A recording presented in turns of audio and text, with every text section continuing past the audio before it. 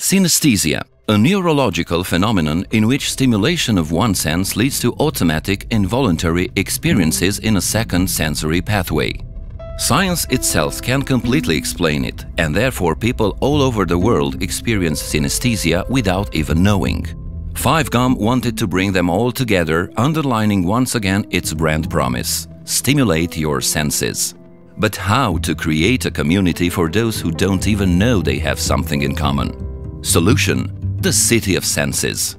We create a virtual city where everyone was invited, but only the synesthetes could enter. Literally.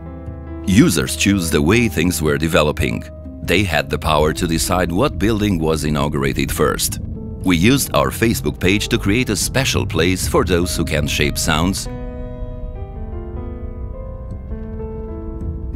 for those who can taste colors,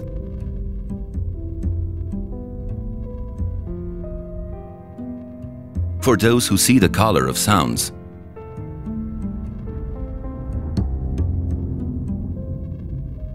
For those who think that Monday is blue and Friday tastes bittersweet.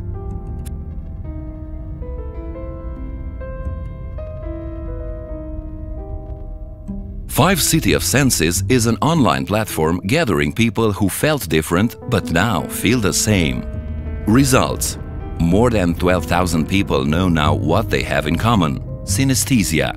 More than 32 million times exposure for the synesthesia concept and stimulate your senses claim.